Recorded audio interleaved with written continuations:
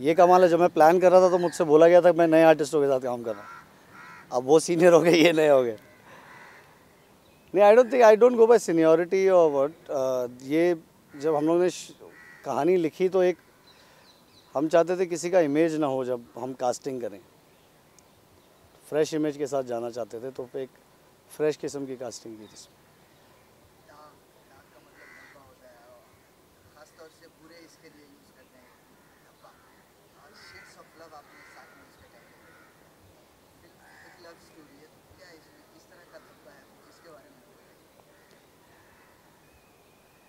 जहाँ तक धब्बे का सवाल है वो तो मुझे पता नहीं हो शायद पेंट कंपनी वालों को ज़्यादा पता होगा या वॉशिंग कंपनी वालों को पता होगा। कहानी में हमारी लव स्टोरी में there is a very it's a very sensitive love story and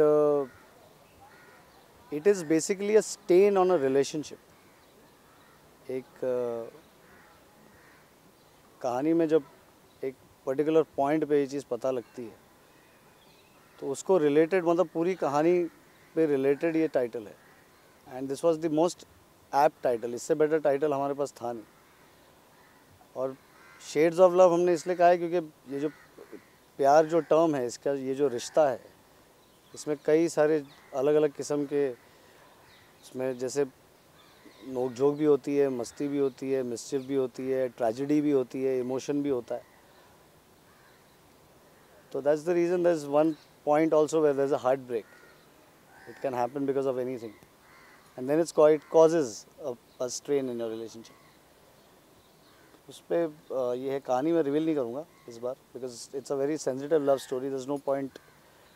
giving out the story at this point of time I want people to go and watch it लोग जाएँ थिएटर में देखें एक complete नए किस्म की love story देखने मिलेगी उनको। It's a triangle love story yes there are there are two heroines there is one hero it's a love story which revolves in तीन कैरेक्टर्स के अराउंड रिवॉल्व करती है कहानी। और बहुत कॉम्प्लेक्स कैरेक्टर्स हैं, बहुत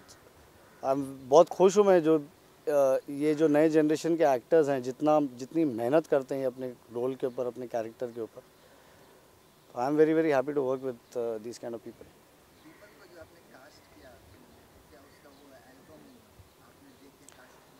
I was looking for a new girl और uh, मैंने जब दीपल को देखा तो she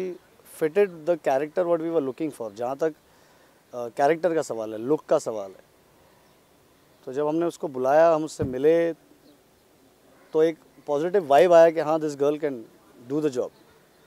then when we started working जब काम शुरू किया उसके साथ वो लड़की is very talented she is immensely talented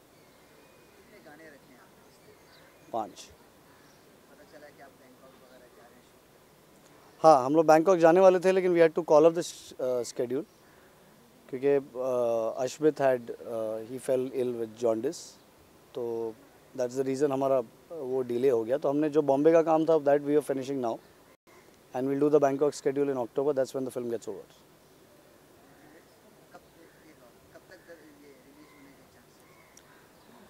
ये फ़िल्म रिलीज़ होगी समवेयर अराउंड कोशिश हमारी थी कि हम दिसंबर में करें। लेकिन इस साल को देखते हुए जो अभी जो रेस चल रही है where everybody is rushing towards Diwali and December and all that तो मैं समझता हूँ will come somewhere around Jan twenty six Jan something that thank you